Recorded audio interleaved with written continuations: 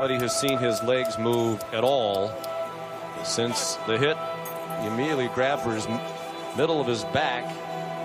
He Was able to roll over onto his back, but his legs really have not moved. Gets the snap, wants to throw.